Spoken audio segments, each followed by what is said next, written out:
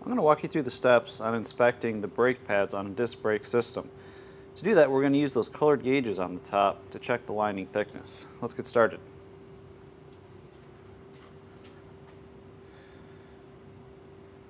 First thing we need to do is identify the brake lining so we can measure the correct part. So let's talk about a couple parts here. On the left side, right here, we've got the backing plate of the brake pad. If I hold up this one here, the backing plate is going to be the metal side of it that gives it its strength. To the right of that is going to be my friction material. That's this portion right here that also rubs against the brake rotor to slow our car down. In the middle, you can see the brake rotor. It's also visible up top here. As the wheel spins, that's the part that's going to spin with the wheel. You can see it moving there between the pads. On the right side, we also have brake lining for our inside pad. And then to the right of that is going to be our backing plate again, that part right there.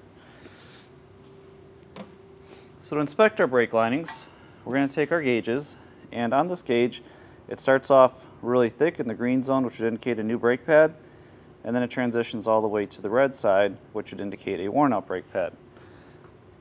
I'm going to start with the thinnest one to show you how this would work. So you insert this between the caliper and the bracket, and you're looking to measure how much brake lining is left. In this case, you can see that there's a lot of material there still. I can move this side to side. So let's go to the yellow range.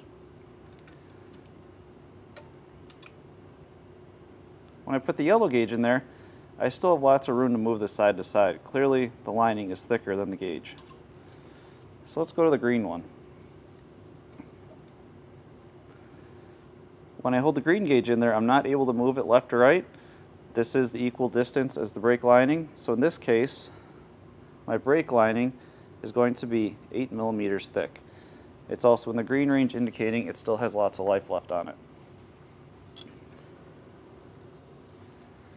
Now let's go to our inside pad. Again, I'll start with the smallest one. You can see there's clearly a lot of extra lining. These are not equal distances. So let's go up to the yellow gauge. This one still is not equal to the lining. So let's go to that green one again. Now when I put the green gauge up to it, it's equal thickness with the brake lining, indicating this brake pad has 8 millimeters of pad on it still. Now just for example, let's take a look at a brake pad that is worn out. So this would be a classic brake pad that you might see on a vehicle. Hopefully it wouldn't be this bad. On the left side, we've actually gone down to the point that the friction material is falling off. If I set it up here on a rotor,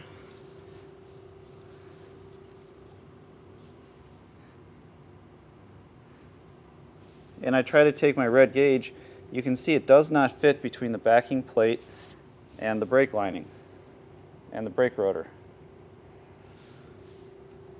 If I flip this over, just for example, you can see that the red just barely fits in between the backing plate and the brake rotor.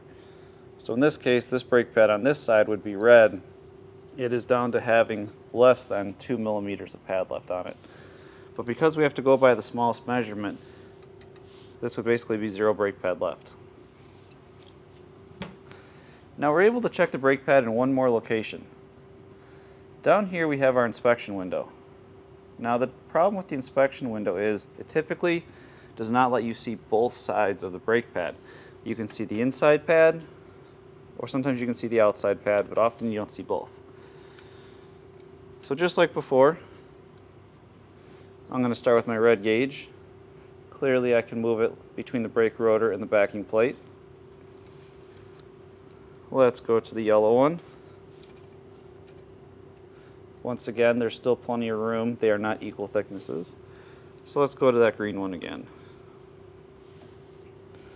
Now when I hold my green one up, it touches the brake rotor on the left side and it touches the backing plate over on the right side. Once again, this is a brake pad that has 8 millimeters of pad left on it. So that's how you inspect brake pad linings without taking anything apart. Good luck inspecting your brakes.